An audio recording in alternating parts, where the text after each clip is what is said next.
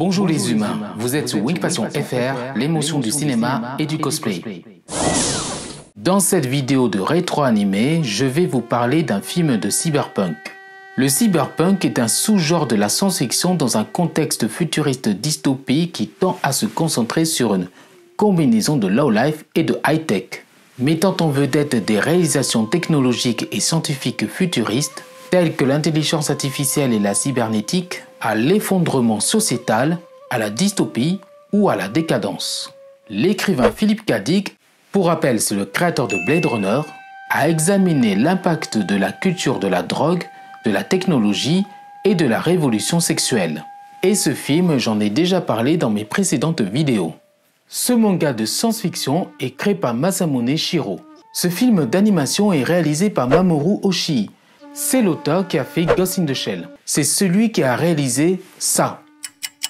Et on va parler du film légendaire Ghost in Shell. Et c'est parti pour analyser le film d'animation culte Ghost in Shell.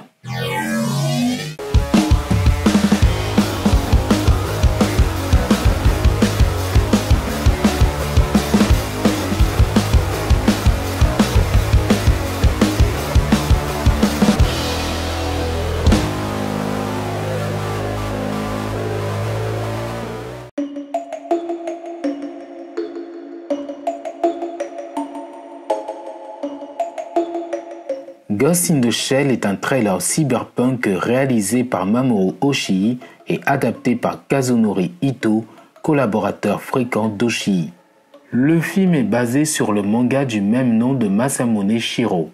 Il s'agit d'une coproduction internationale nippon-britannique produite par Kondasha, Banda Visual et Manga Entertainment avec une animation fournie par Production AJ.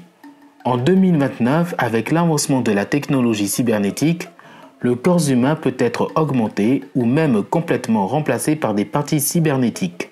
Une autre réalisation importante est le cybercerveau, un boîtier mécanique pour le cerveau humain qui permet l'accès à Internet et à d'autres réseaux. Un terme souvent mentionné est fantôme se référant à la conscience habitant le corps, la coquille. Le major Motoko Kusanagi est chef d'équipe d'assaut pour la section 9 de la sécurité publique de Newport City au Japon. Suite à une demande de Nakamura, chef de la section 6, elle réussit à assassiner un diplomate d'un pays étranger pour empêcher un programmeur nommé Daita de faire défection. L'interprète du ministre des Affaires étrangères est victime d'un piratage fantôme vraisemblablement pour assassiner des personnalités lors d'une réunion à venir. Croyant que l'auteur est le mystérieux Puppet Master, l'équipe de Kusanagi suit les appels téléphoniques tracés qui ont envoyé le virus. Après une poursuite, ils capturent un éboueur et un voyou. Cependant, les deux ne sont que des individus piratés par des fantômes sans aucune idée du maître des marionnettes. L'enquête aboutit à nouveau à une impasse. Megatech Body, un fabricant d'opus soupçonné d'avoir des liens étroits avec le gouvernement, est piraté et assemble une coque. Alors qu'il s'échappe, l'obus est percuté par un camion. Alors que la section 9 examine la coquille, ils trouvent un fantôme humain à l'intérieur. De manière inattendue, le chef du département de la section 6 Nakamura arrive pour récupérer la coquille. Il affirme que le fantôme à l'intérieur est le maître des marionnettes lui-même, attiré dans la coquille par la section 6. La coquille se réactive, prétend être un être sensible et demande l'asile politique. Mamoru Oshii voulait à l'origine diriger Jinro après avoir terminé Patlabor 2.